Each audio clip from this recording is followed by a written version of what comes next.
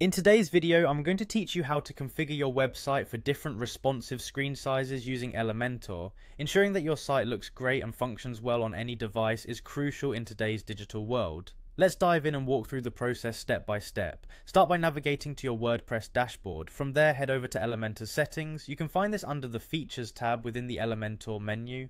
This is where you'll enable a range of functionalities that can make your website more adaptable to various screen sizes. As you scroll down through the settings, keep an eye out for the section labelled Additional Custom Breakpoints.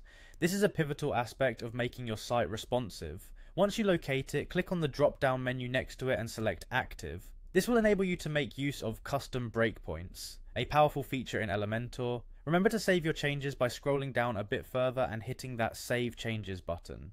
This ensures that anything you've activated takes effect immediately. With this setup complete, navigate to any page or template on your website. Once there, select Edit with Elementor to open the Elementor editor. At the top of the editor, you'll notice options that allow you to switch between desktop, tablet, and mobile views. This is a handy way to preview how your content looks across different devices. Next, focus your attention on the top left corner of the editor. Click on Site Settings and then click on Layout. The Layout section holds crucial tools for adjusting how your site is structured. Scroll down until you find the breakpoints section and expand it. Here you can customize specific settings for different screen sizes. To refine this even further, under active breakpoints you'll notice a plus button. Click it. Once you do that you will see various options such as mobile portrait, tablet portrait, and tablet landscape among others. These settings allow you to get precise with pixel widths, ensuring that each device type displays your content just how you like it.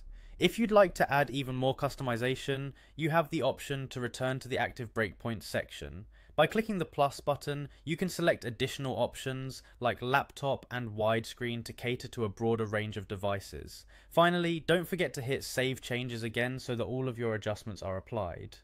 This last step is essential to ensuring all of your settings are preserved, and there you have it.